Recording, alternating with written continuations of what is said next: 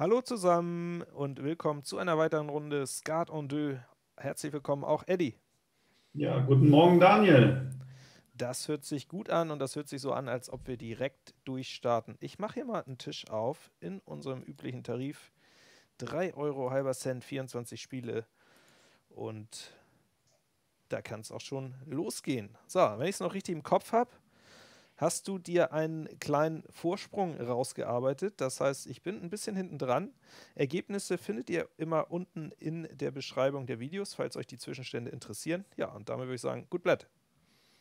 Gut Blatt.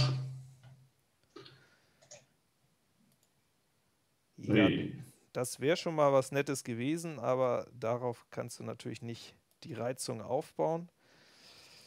Das hier ist auch was Nettes. Das ist auch was Nettes. Zum Start mal ein zweifach offenes Spiel, was eine gewisse kraftstrotzende Stärke präsentiert. So, null Augen bietest du mir an und da guckt dir das an. Gleich wieder vier dagegen. Ist denn das die Möglichkeit? Gut, gut, genau. Ähm, vier dagegen und es wird immer noch äh, recht spannend, ob, ob schneiderfrei possible ist. Moment. Ähm, da rein. Na, ich würde sagen, die Kreuz 10, wenn sie denn kommt, die müsste ich dann mal durchaus mit der Lusche stechen, ne? Ja, das erkennt der Daniel natürlich. Damit wir hier gleich nach dem Einspiel... Nochmal Druck über die Herz-Dame machen können. Ja, gut, ich mache einen auch, ich sage einfach mal. Du nimmst dann auch jedes Auge mit, ne? Absolut. Jedes korrekt. Auge mit. Mitzählen ist morgen wieder. 90 Stück. Ja. Das war ein Qualitätsspiel. Ja, zum Warmwerden. Das ist jetzt auch ein tatsächliches Qualitätsspiel geworden. Also ich hatte vorher schon einen sehr guten Ansatz. Herz ohne Zweien, zweimal offen. Nur mal gucken, dass ich mich hier nicht verdrücke. So, 0, zweimal offen. Ach, ein Nullover ist daraus geworden. Ja, den kann man. Ja, Peak 7, Peak 8 oder sowas in der Richtung waren zu finden. Oh ja, ich sehe schon. Ich sehe schon. Aus 7 Atu mit Fehlass äh, ist geworden ein Nullover, genau. Ui, Gegenreizung. Aha, jetzt ist ein bisschen Pfeffer gleich drin. Gut, gut, gut. Aber wie gesagt, ich bin ja ein bisschen hinten, da muss ich also jetzt auch schon mal in jede Lerche reinmarschieren hier. Na gut, okay. Scheinbar ist deine Vorhand doch noch ein bisschen kräftiger. Ja, es wäre unangenehm gewesen, wenn du bei 45, 46 gewesen wärst. Da wäre es unangenehm geworden. Aber so sollte dieses Spiel jetzt tatsächlich kein Problem darstellen. Ähm, Ach, wie schön. Ach, ich wusste es. Ich ja, wusste. ich glaube, der Herzspeer wäre doch eine Ecke besser gewesen, oder nicht? Ja, ja, ja, ja, auf jeden Fall. Aber ich habe mir das bei der 33 irgendwie so vorgestellt, dass du mit einem Bauern eher herzfrei bist, anstatt äh, Dings, was natürlich komplett wieder 24 Augen verschenkt, natürlich, definitiv. Ähm, weil danach hätte man, wie man sieht, ja einfach einen Bauern fallen lassen können. So hat Daniel 17. Ja, ich denke mal, Karo Dame nehme ich dann noch mit. Und Karo mit Dame mit Bauer und Kreuz Ass oder sowas in der Richtung führt dann äh, zum Aus und. Ja, das war zu euphorisch. Die Herz 10 im Skat war zu euphorisch. So.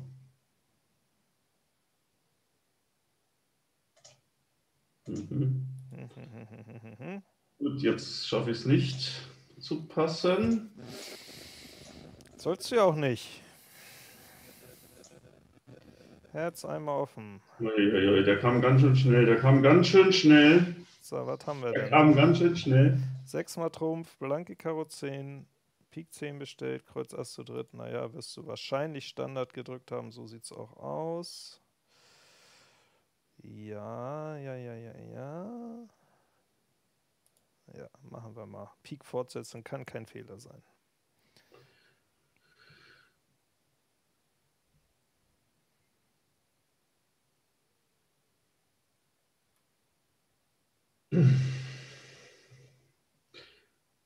ähm.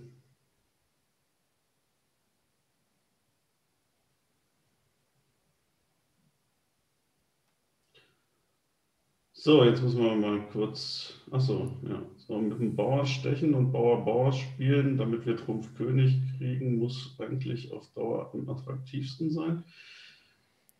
Ähm, Frage ist 15, 17. Ja, in dem Fall ist natürlich ein Vorteil, die Kartenverteilung zu kennen. Das wäre mit verdeckten Karten ein bisschen schwieriger, hier die richtige Einstichkarte zu identifizieren. Du wirst trotzdem Kreuz 8. Damit habe ich ja schon mal deine Kreuz Dame auf jeden Fall mehr. So, 20 hatten wir gedrückt, haben wir gesagt. 22. 22. Zack. Zack. Daniel hat 30. Ja, ist halt zu stark. Und macht noch einen schönen Kreuzstich. Daniel hat 30 und macht noch Kreuzstich. Schön, ne? Was man so alles macht hier. Ja. Ja, hier, guck mal, Karo. Da kommt wer ist ja nie drauf. Mal, Karo. Jetzt. guck mal, Karo. Jetzt könnte ich ja sogar Kreuz Lusche spielen, dann würdest du dein Karo Ass nicht mehr nach Hause bekommen. Aber dazu habe ich gar keine Lust. Ja, natürlich wäre sauberer Herzkönig zurück, aber irgendwie hatte ich das Gefühl, das ist auch nicht so richtig ähm, Ziel. Nee, ich denke, mit, 20, mit 20 zu dritt, äh, mit 20 gedrückt ist dieses Spiel äh, gar nicht so schlecht. Wow, Dani hat lange überlegt. Ich tippe, ja. Dani hat lange überlegt, falls er überhaupt lange überlegt hat. Ja, schöne Ansätze. Ei, ei, ei, ei, Da war er wieder.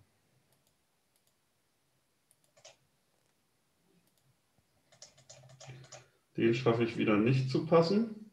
Das ist doch gut. Ich würde mich freuen, wenn ich auch mal einen nicht schaffen würde zu passen, aber so weit sind wir noch nicht.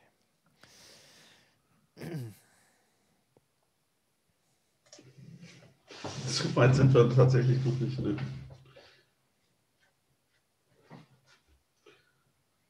Hm. Hm.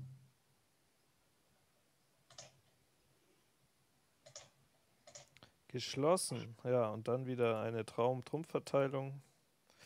Der Geschichte fällt mir ein, ohne Trumpfstich hast du keine Chance. Äh, vielleicht Herz 2-2, Kreuz 2-2. Hättest auch eine 10 oben halten können. Ich vermute mal, du hast sie beide unten, aber gut, ist auch. Ist hast auch. du so schnell schon vermutet? Ja, ähm, vermute ich einfach mal, weil das ist natürlich die einfachste Erklärung für deine Euphorie. Also ziehen wir auch mal. Ist ja so. Ach so, ja, ja, ja. Ich verrate schon wieder zu viel wegen meiner Euphorie. In dem Spiel ist es doch wirklich wieder alles ganz banal. Es steht ja nun wirklich, braver geht es ja wirklich nicht. So, wahrscheinlich. Was haben wir denn? Ich glaube, das ist die beste Fortsetzung hier. Machen wir jetzt noch die drei Augen? Oder hast du doch Herz 10 oben? Nee, nee, ja, ja. Ich habe so gedrückt, wie du es äh, korrekt analysiert hast. So, Schwuppdiwuppdidupp.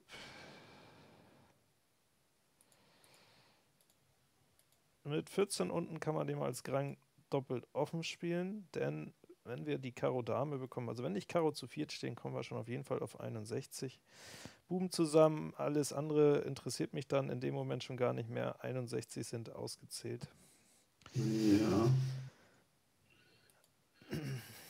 Buben zusammen und ich Interessant wäre noch zu wissen, ob es überhaupt möglich wäre. Ähm, ja, ob es eine Verteilung gibt, wo ich tatsächlich nicht diese eine Dame bekomme. Ne? Ist mir jetzt genau, aber genau, genau. zu mühselig, das jetzt hier im äh, laufenden Spiel noch mit zu berücksichtigen. Ja. Äh, die Coins spare ich mir gleich mal für die nächste Verteilung, die vielleicht dann wieder interessanter wird.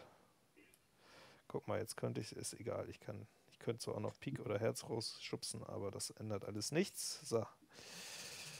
61. Alles korrekt analysiert. 21, 42, 60. 60. Möglich, aber nicht wahrscheinlich. wollen wir das Risiko eingehen? Ne, wir können ja gleich immer noch doppelt offen spielen. Ja, jetzt habe ich mich habe ich mich jetzt über verbessert. Jetzt ist er unverlierbar. Schwupp. Jetzt ist er unverlierbar, ja, okay. Ja, vorher hatte ich neben den beiden blanken, dunklen Luschen noch einen Karo König im Blatt und da können ja, natürlich ja, ja. dann auch nochmal 18 fallen, wenn es mal ganz dusselig läuft. Wäre auch nicht passiert, Kreuz, Ass und 10 sitzen ja in einer Hand, aber das war mir dann doch ein bisschen zu steil die sicheren Punkte aufzugeben. So, was haben wir denn hier? Was haben wir denn hier? Eieiei, grenzwertig. Grenzwertig. Im Lauf drauf oder wie sagt man? Genau. Schöner Spruch, ne? Beim Skat, ne? da, da, dazu hast du mich letztes Mal gefragt, ob ich an Läufe glaube. Glaubst du denn eigentlich an Läufe? Naja, man weiß natürlich, dass es Phasen gibt, wo viele Spiele hintereinander kommen, aber ich würde nicht mein Reizverhalten ähm, von einem sogenannten Lauf abhängig machen, denn ein Lauf geht ja niemals schneller vorbei, als wenn du mit einer schwachen Karte reizt, die du in einer anderen Stellung vielleicht auch nicht gereizt hättest, die du dann verlierst. Also daran glaube ich zumindest nicht. Mhm. So, wir spielen mal ein geschlossenes Herzilein und halten uns noch ganz bedeckt mit einer Trumpflusche. Oh, den habe ich aber gut getroffen, muss ich sagen. Trumpflusche war ein schöner Aufschlag. Den hast du sehr gut getroffen. So. Tja. Karo steht auch. Trumpf steht zu viert, aber das ist dank des blanken Pik Boom, glaube ich, gar nicht mein Hauptproblem. Erstmal holen wir uns den blanken Pik König ab. Ach, den hast du gar nicht oben. Den habe ich diesmal nicht oben. Wieder? Ist es denn jetzt eigentlich, du machst ja da Kreuz machst du ja auch nur 14, so haben wir schon mal den vollen, ne? Ist eigentlich, glaube ich, egal. Ich habe genug, was habe ich denn da gedrückt? Na, hier, komm, nimm den, ist egal. Ich glaube, das ist egal. Müssen wir natürlich was Kleines hier Stechen nachkommen. Können wir auch direkt so rumspielen. Gleich unseren König hier mal etablieren. Sollte man wahrscheinlich sogar. Ja, einmal von unten wäre sicher auch möglich gewesen. Äh, jetzt gibt es noch einen. Ja, ja, einmal von unten wäre auch möglich gewesen.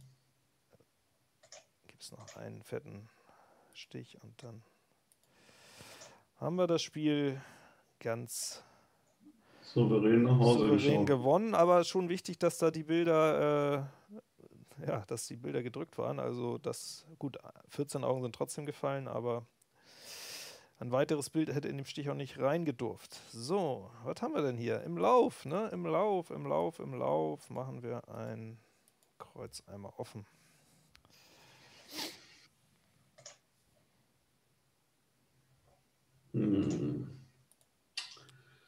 Das ist schon wieder suboptimal. Ja. Alles steht rund, alles sieht komplett rund aus. 15, 19, noch ein Trumpfstich mit einem meiner zwei vollen. Spiel einfach gewonnen. Mal gucken, was Daniel dazu sagt. Ja, ich denke, da bin ich mit einverstanden. Ähm, zwei Stiche, noch einen zweiten Trumpfstich kannst du tauchen, dann auf den zweiten Buben schmieren. Wir können, wir können auch kommen, wir spielen, wir spielen einfach. Achso, Sorry, ich glaube, jetzt habe ich es schon akzeptiert. Alles gut, alles gut, alles gut. So, wir halten uns nochmal bedeckt. Ja, ich kann mich Wir halten uns nochmal bedeckt. Ich kann mich hier inzwischen nicht mehr zurückhalten. So, jetzt ist er wieder. Ich gerade, ob ich irgendein Spiel ausgelassen habe, was den Lauf gedreht hat. Nein, ich glaube nicht. Pik ja, zweimal offen. Ja, oh, das wäre in Vorhand auch ein anderes Spiel gewesen.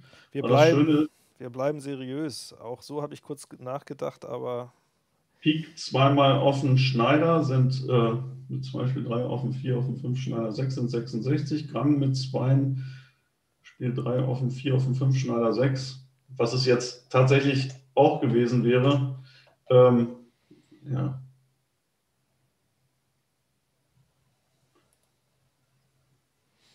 Ja.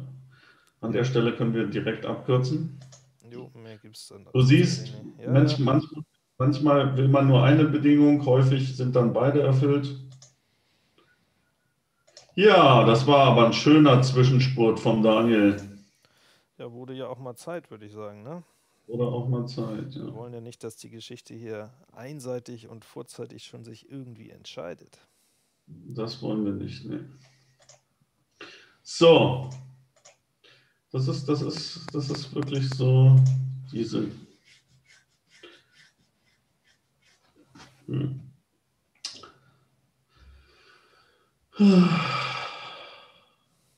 Hört sich gut an. Ich kann ja mal, damit es eine bessere Chance gibt, langsam hier nochmal die Glocke schon mal ins Bild holen. Bereitstellen, die hatte ich nämlich irgendwie schon wieder oben stehen gelassen. Und jetzt seht ihr das hier. Wir sind jetzt auch bereit fürs erste Beatspiel. Jetzt oder im Laufe der Serie noch. Ja.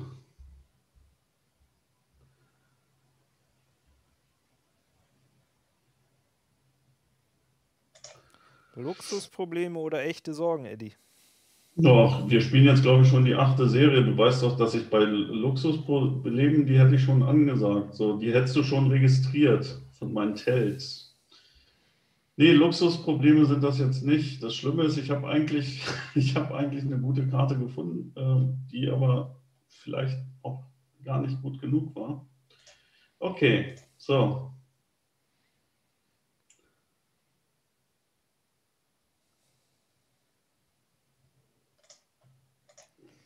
Geschlossenes Herz. Mit Speer. Attacke. Okay, 6 5 Kreuz Ass und dann noch dreimal. Ja, war gar nicht so schlecht, aber. Dreimal was an der Seite. Vermutlich natürlich Kreuz Lusche gedrückt, wenn der Speer kommt. Trumpf steht natürlich sehr glücklich für dich, muss man sagen. wenn du jetzt die beiden, äh, also den Kreuz und die Karo Lusche gedrückt hast, ganz normal, dann sieht das natürlich für dich gut aus hier. 13, wie gut sieht denn das eigentlich aus? 13. Pik 10 kannst du mir vorsetzen, dafür muss ich laufen lassen. 27, 57 kriege ich dann. 57 kriege ich die Pik Lusche nicht weg. Ja, wieso solltest du den anders gedrückt haben? Wieso sollte ich den anders gedrückt haben und dann das nicht blanke Kreuz Ass ausgespielt haben? Genau. Aber ich könnte ja auch auf die Idee gekommen sein, Pik 14 zu drücken oder Pik 10 und Kreuz 9 und eine blanke Karo zum Verwirren. Ja, aber das Spiel ist, glaube ich, dann doch zu stark mit. Ja, ja. Zu stark. Gut, ich glaube auch, dass das Spiel wieder gut vollen, Du hast keinen Trumpf vollen. Ja, ich bin natürlich nur noch mal kurz am überlegen, bringt das irgendwas jetzt Pik Ass, Lusch, Lusch, 24 Dame, König 10, 41 und dann brauchen wir noch einen 21er in Kreuz oder in Karo. Das ist wahrscheinlich auch die einzige Chance, dass Pik 10 unten ist als Verwirrungsgeschichte. Den, lass mich kurz durchrechnen. Ich spiele Karo. Du hast normal gedrückt. Stech, Trumpfabzug, Pik 10 vor. Okay, wir machen es jetzt mal, damit vor. du dir über die äh, Variante Gedanken machen musst. Ja, dann kommen wir gleich auf 57, wenn ich es richtig gesehen hatte. Ähm, na gut. Spielen wir doch mal. Spielen wir mal, zeigen wir ja, mal, wo die. Getan hast. So, Herz König. Wo die 57 herkommen. Ich glaube, ich hätte auch Pik Lusche spielen können, aber. Pik Lusche. Ähm,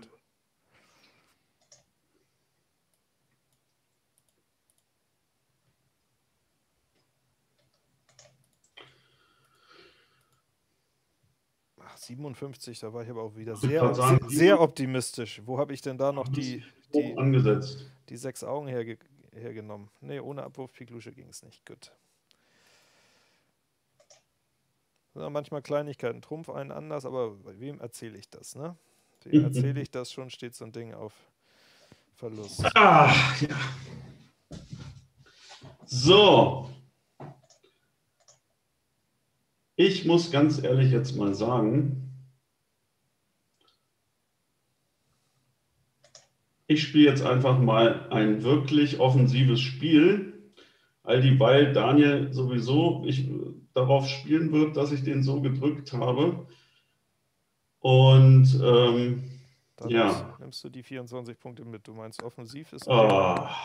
in dem Fall, wundere mich, du bringst doch sonst sehr oft den Speer, in dem Fall hätte man ihn auch spielen können, dann hättest du das Trumpf Ass gesehen, aber nützen mir denn diese fünf Trümpfe was? Nützen die mir irgendwas? Ich bin mir da nicht sicher, ich glaube eher nicht. Vier volle machst du auf jeden Fall, Trumpf 10, die drei Asse und Pik 10 kriegst du auch, also machst du fünf volle, gedrückt ist Pik Dame und Herz Dame, ja, mit anderen Worten, es sieht erstmal optisch stark dagegen aus, aber aus genannten Wie viel volle, wie viel volle mache ich, hast du gesagt? Na, fünf volle. Es sei denn, fünf volle, ja, ja. ja. Ich hatte gerade vier. Sech, plus sechs Augen gedrückt, plus drei Asse, Kreuz, Bube. Mit anderen Worten, wir können hier machen, was wir wollen. Natürlich können wir das mal eben ausspielen, aber da passiert gar nichts. Ist ja auch kein schlechtes Spiel. Der Grand zweimal offen wäre wahrscheinlich auch relativ locker gegangen.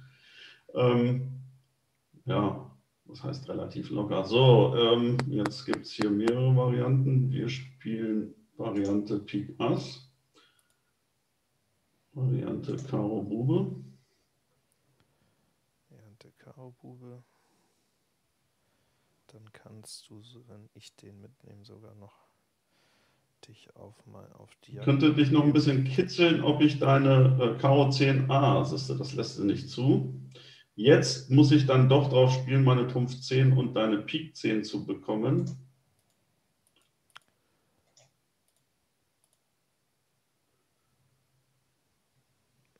Das natürlich nicht zu verhindern. Wir können mal einmal hier den Zwischenzug machen. Vielleicht nimmt Eddie ja mit. Ne? da, kommt er nie, da kommt er nie drauf. Oh doch, schade, er hat es gesehen. so, stechen, fordern und gewonnen. Ja, so.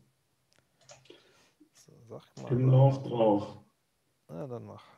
Wie ist denn der Stand eigentlich gerade? Ah, du bist wieder am, du bist am, ah. am Aufholen wieder. Bist schon wieder fast dran.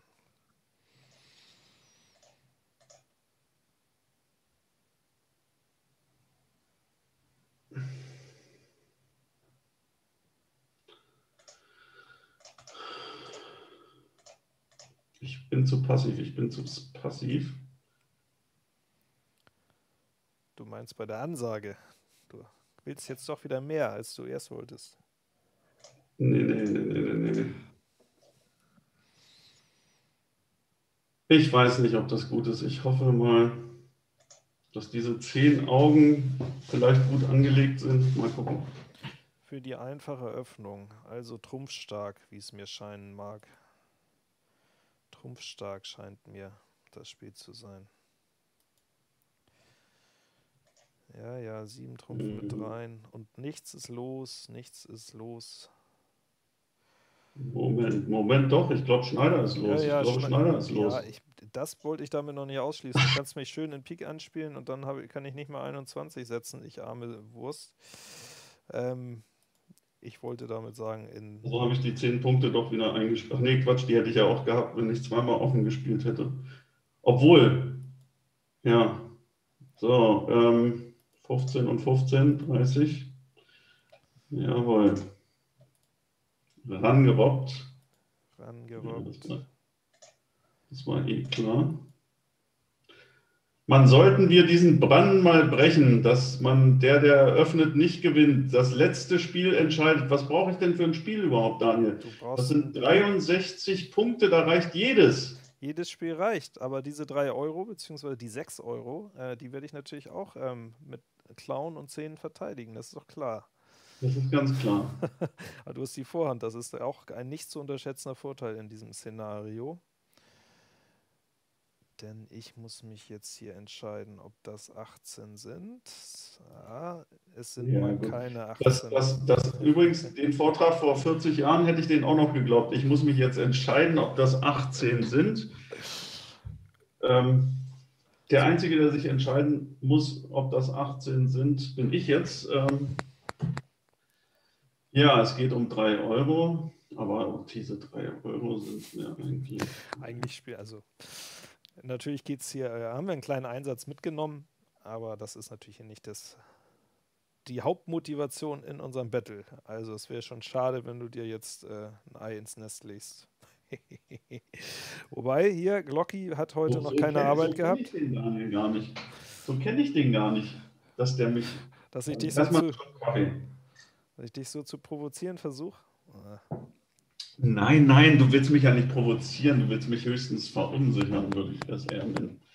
Aber es gibt eigentlich nicht viel zu verunsichern. Ähm, oh, ich habe gerade einen sehr guten Skat. Einen sehr guten 14 Augen müssten liegen. Wenn 14 Augen liegen, habe ich auf jeden Fall einen, wenn die richtigen 14 liegen. Du hast gerade eine Vision, meinst du, was drin liegen könnte, oder wie? Ja, ja, ja. Zwei ganz schlechte Karten.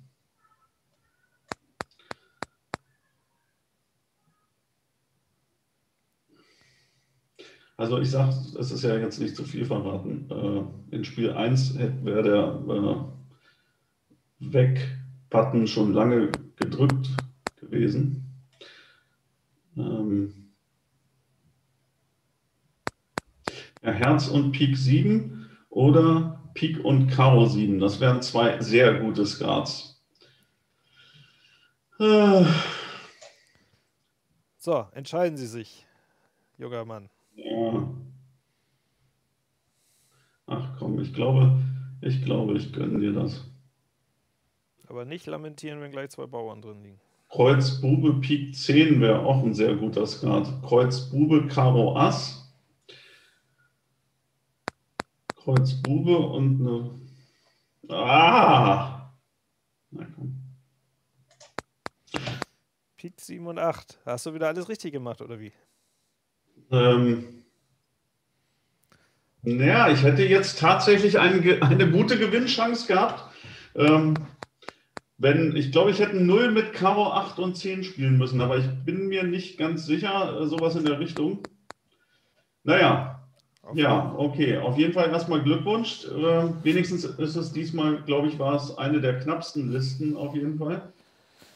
Ja, zwischendrin hatte ich ehrlich gesagt gehofft, dass ich hier ein bisschen mehr Punkte wieder, ein bisschen mehr Boden wieder gut machen kann, aber du hast natürlich bis nochmal zurückgekommen. Ähm, knapper Sieg, immerhin. 63 Punkte plus auf meiner, auf meinem Zettelchen. Ja, und dann würde ich sagen, freue ich mich auf die nächste Serie. Danke, Eddie. Danke, Daniel. Bis bald. Tschüss. Bis